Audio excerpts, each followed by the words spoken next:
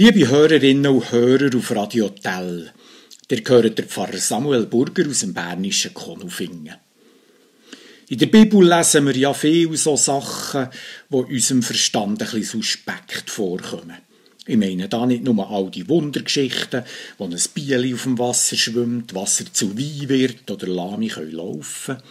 Ich meine auch so Aussagen wie Christus wird zurückkommen auf den Wolken, genau so wie er in den Himmel gefahren ist, und er wird die Welt richten und sein Reich darauf verrichten.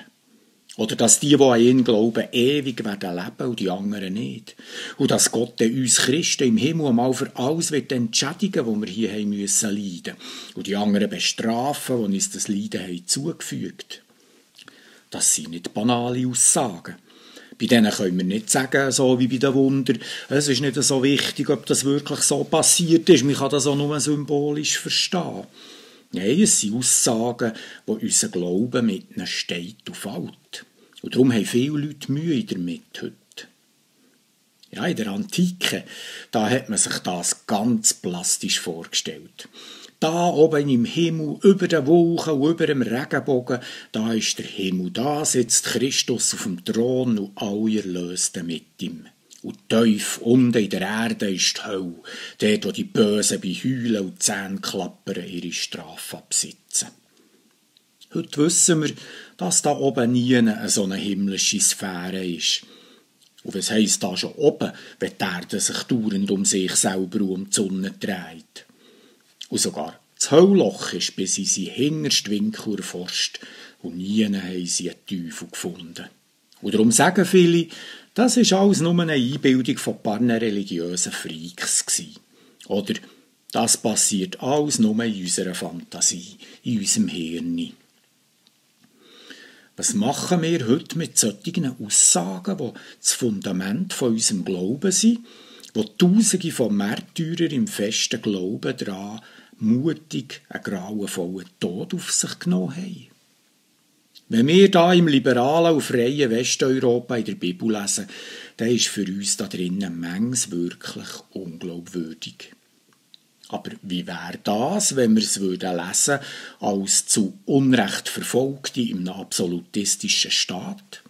Wenn uns der Prozess gemacht würde, nur weil wir unsere Meinung gesagt haben, weil wir Unrecht kritisiert haben? Würden wir da nicht mit Freude daran glauben, dass wir irgendwo im Himmel einen Verbündeten haben, einen, der das Unrecht einmal beseitigt und uns Recht gibt? Es muss ja nicht physisch irgendwo über den Wolken sein, aber irgendwo muss da eine Macht sein, wo mir am Ende hilft und wo Recht schafft. Und der Glaube und das Wissen, dass ich im Recht und meine Verfolger im Unrecht sind, das gibt mir Kraft, einen geraden Rücken zu behalten, nicht aufzugeben und meine Überzeugung nicht zu verleugnen. Der Dietrich Bonhoeffer war so ein Mensch. Nicht ein naiver Gläubiger, einer, der sich viel hat überlegt und alles hinterfragt. Der hat schon lange nicht mehr an das antike Bild vom Himmel dort oben und der Hölle dort geglaubt, aber an die tiefe Wahrheit, die dahinter steht nämlich, dass es einmal eine Gerechtigkeit gibt. Kurz vor seinem sicheren Tod im KZ hat er das berühmte Gedicht geschrieben, von guten Mächten wunderbar geborgen. Und seine Gefängniswärter haben ihn bewundert, wie ruhig und überlegen, dass er sein Schicksal gedreht hat. Oder etliche Menschen, die ich kennt habe, die ihre schwere Krankheit und ihr Schicksal, das ja manchmal wirklich auch ungerecht ist, erträgt haben und nicht verbittert sie worden, sondern mit einem Lächeln auf den Lippen haben können sterben. Sie haben gewusst, da wird einmal alles gut und auf das freue ich mich.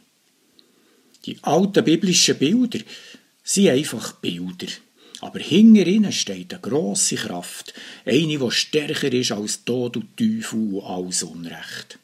Und wenn wir sagen, all das ist nicht wahr, dann kehren wir die Kraft in Kübel. Und was haben wir denn noch? Drum bin ich froh, steht so unglaubliches Zeug in der Bibel. Als Wink. Achtung, dahinter steht etwas, wo unser Verstand nicht einordnen kann, aber der Glaube daran, der ist stärker als alle Mächte auf der Welt. Ich wünsche euch eine Erfahrung von dieser Kraft in dieser Zeit, die kommt.